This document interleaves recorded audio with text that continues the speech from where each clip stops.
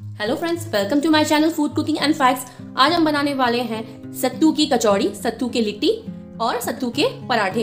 इसके लिए मेरे पास सत्तू नहीं है फ्रेंड्स लेकिन मेरे पास ये चने हैं, जो कि मार्केट में इजीली अवेलेबल होते हैं। ये भुने हुए चने होते हैं। ये बिल्कुल ऐसे होते हैं देखने में इसको हम एज अ भूजा भी यूज़ करते हैं। तो अगर आपके घर में पाउडर्ड सत्तू नहीं है तो आप ये वाले चने ले सकते हैं और इसको आप मिक्सर में पीस लीजिए। फिर आपके घर में अवेलेबल हो जाएगा एकदम प्योर सत्तू। ऐसे आप मार्केट से अगर सत्तू खरीदते हैं तो वो आपको महँगा भी पड़ता है और प्लस उसमें बहुत सारी चीज़ें भी मिक्सड होती हैं, जिसमें आप मतलब कह नहीं सकते कि उसमें चना कैसा है, कैसा नहीं है। लेकिन अगर आपको घर में एकदम प्योर सत्तू चाहिए तो मैं तो आपको यही रेकमेंड करूँगी कि आप चना को भून लीजिए घर पे, या फिर मार्केट में इस तरीके के भुने हुए चने आते हैं, उसको आप यूज़ कीजिए, इसको बस आपको मिक्सर में पीस लेना है और ये आपका सत्तू रेडी हो जाएगा। मिक्सर में अच्छे से ग्राइंड कर लिया है चने को। और आप देख सकते हैं, ये इसकी कंसिस्टेंसी कितनी अच्छी एकदम पाउडर फॉर्म में आ गया है। इसके छिलके निकालने की भी आपको ज़रूरत नहीं है और ये बहुत ही फाइन पाउडर बना है। अब हमारा ये प्योर सत्तू हमारे पास रेडी है। सो so फ्रेंड्स हमने इस बर्तन में हमने हमारा सत्तू निकाल लिया है। अब सत्तू में क्या क्या इंग्रेडिएंट्स चाहिए, इसके लिए मैंने एक बड़ा प्याज लिया है मीडियम साइज़ एक लहसुन लिया है, चार हरा मिर्चा लिया है और एक नींबू लिया है। नींबू हम जूस डालेंगे। और मसालों में हम कुछ नहीं डालेंगे, बस ये स्वाद अनुसार नमक और आधा चिटकी हल्दी और ये अजवाइन। तो सबसे पहले हम इंग्रेडिएंट्स को अच्छे से धोकर, साफ़ करके अच्छे से कट कर लेते हैं चॉप कर लेते हैं। हमको चॉपिंग बिल्कुल नहीं करना है। या तो आप चाकू से अच्छे से पतला पतला स्लाइस कीजिए या फिर आप चॉपर में भी उसको कर सकते हैं चॉप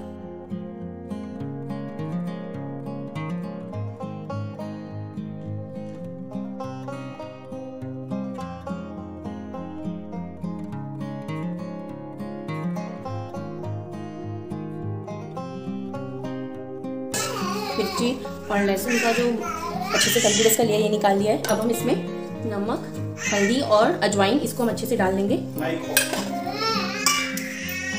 और इसको हम इस तरीके से मैश कर लेंगे, ताकि हमारा प्याज जो है थोड़ा सा नमक के वजह से सॉफ्ट हो जाए। तो ये हमारा अच्छे से मैश हो गया है।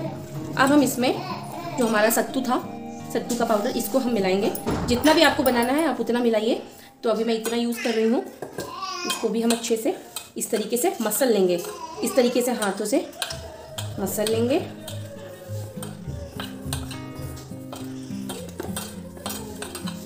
आप इसमें थोड़ा सा नमक जो है अपने स्वाद के अनुसार ही डालिए। अगर आपको ज़्यादा या कम लगता है तो उसके अकॉर्डिंग आप उसमें चेंजेस भी कर सकते हैं। अगर कम है तो डाल दीजिए। और अगर थोड़ा सा ज़्यादा है तो फिर वो नींबू से थोड़ा सा बैलेंस हो जाएगा। अब इस टाइम पे हम इसमें जो हमारा नींबू है, उसको हम स्क्वीज़ कर लेंगे। नींबू से बहुत अच्छा फ्लेवर आता है खट्टापन का तो अगर नींबू है तो आप ज़रूर ऐड कीजिए। इसको भी हम मिक्स कर लेंगे।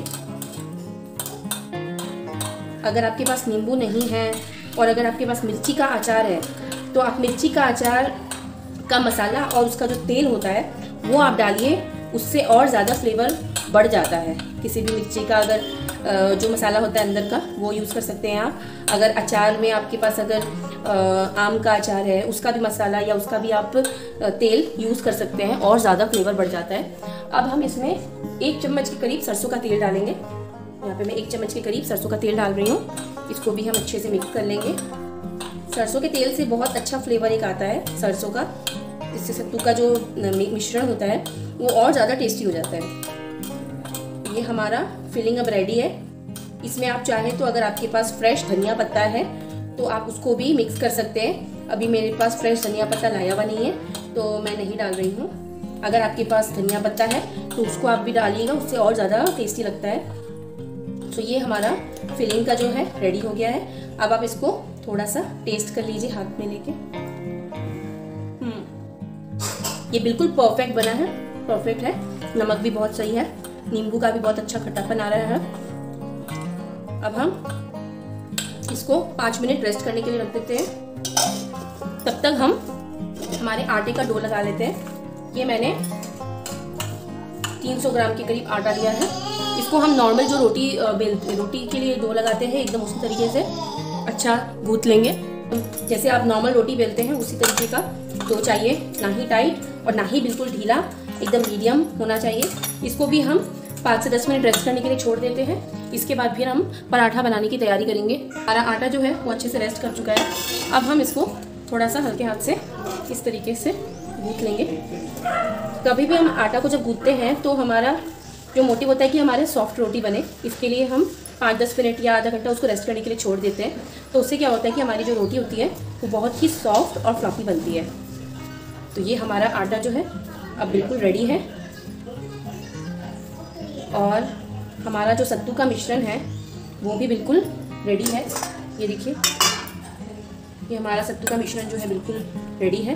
अब हम सत्तू के पराठा बनाना स्टार्ट करते हैं। तो इसके लिए हम पहले आटा के छोटे छोटे इस तरीके से हम लोई तोड़ लेंगे। इस तरीके से हम लोई तोड़ लेंगे इसको हम रख देंगे। अब हमने एक लोई लिया है। इसको हम, अगर आपके हाथ में आटा चिपक रहा है तो आप इसमें थोड़ा सा ड्राई आटा ले लीजिए और इस तरीके से फिर आप इसको गोल कीजिए और इस तरीके से कटोरी का शेप ले लीजिए।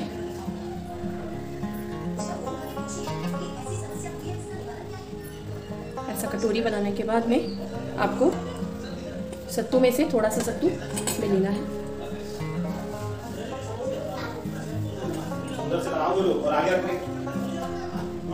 फिर हम इसको इस तरीके से बंद कर लेंगे सील कर लेंगे। और जो एक्स्ट्रा आटा है उसको आप निकाल लीजिए।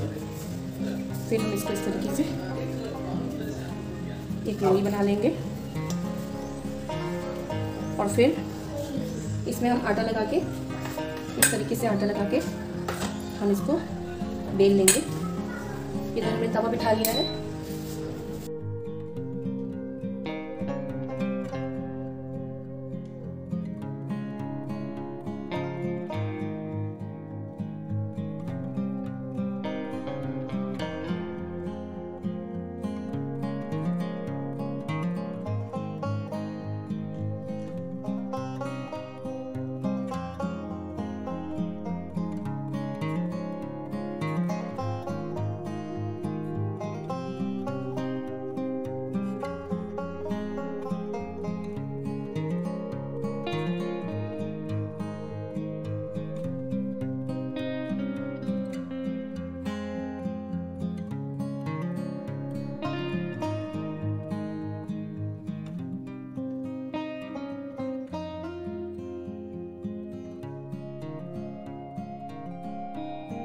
आपको बताती हूँ कि कचौड़ी आप कैसे बनाओगे सत्तू का।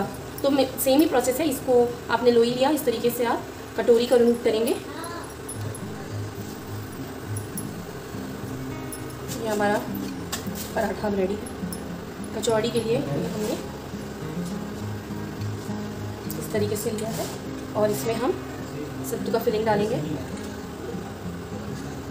इसमें हम ज़्यादा भी फिलिंग डाल सकते हैं क्योंकि हमको बेलना नहीं है। इसको हम इस तरीके से पैक कर देंगे एक्स्ट्रा आटा निकाल देंगे और इस तरीके से हम ये हमारा कचौड़ी का शेप हमने ले लिया है। इस तरीके से हम दबा देंगे इसको। ये हमारा कचौड़ी के लिए रेडी है। इसी तरीके से हम दूसरा भी कचौड़ी बना लेंगे। यहाँ पे तीन कचौड़ियाँ बना के रखी है। अब हम इसको तवा पे इस तरीके से कम आँच पे मीडियम फ्लेम में इसको हम सेक लेंगे। और ये दोनों साइड अच्छे से सिक जाएगा। हम इसमें तेल का यूज़ नहीं करेंगे, क्योंकि कचौड़ी है तो इसको हम सिर्फ़ सेकेंगे और फिर हम डीप फ्राई करेंगे लास्ट में। तो अगर आप इस तरीके से सेकेंगे तो कम ऑयल लगता है जब आप डीप फ्राई करते हो तो।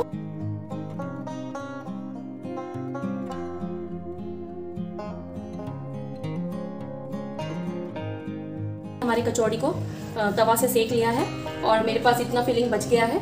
जिसको मैं कल भी यूज़ कर सकती हूँ तो इसको मैं फ्रिज में रख दूँगी और इस कचौड़ी को अब मैं डीप फ्राई करूँगी।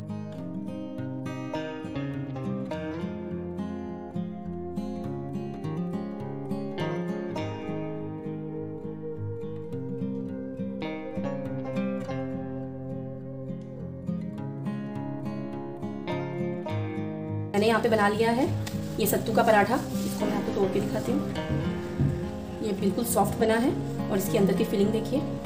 ये एकदम प्योर सत्तू जो आप घर में बनाया है आपने, इस तरीके से आप बना सकते हैं। और ये मैंने जो सत्तू की कचौड़ी बनाई है, ये देखिए, इसका कलर एकदम मार्केट में जैसा कचौड़ी मिलता है, उस तरीके का दिख रहा है। ये मैं आपको तोड़ के दिखाती हूँ। ये देखिए एकदम गर्मा गर्म कचौड़ी है, आप स्नैक्स की तरह भी खा सकते हैं चाय के साथ। या फिर आप ट्रेन की जर्नी अगर कर रहे हैं तो उसके लिए भी आप बना सकते हैं। और ये एक दिन तक तो स्टे कर जाता है तो जर्नी में भी आप इसको यूज़ कर सकते हैं। सो फ्रेंड्स प्लीज़ मेरे वीडियो को आप ज़रूर देखिए लाइक कीजिए और मेरे रेसिपीज़ को ट्राई कीजिए। अगर मेरी रेसिपीज़ आपको अच्छे लगे तो आप मुझे कॉमेंट करके भी बता सकते हैं फीडबैक दे सकते हैं। ये मेरा न्यू चैनल है तो प्लीज़ सपोर्ट कीजिए और मेरे वीडियोज़ को ज़्यादा से ज़्यादा शेयर कीजिए लाइक कीजिए। और अगर आपने मेरे चैनल को अभी तक सब्सक्राइब नहीं किया है तो प्लीज़ सब्सक्राइब कीजिए। Thank you so much friends for watching my video. Keep supporting. Take care. Bye.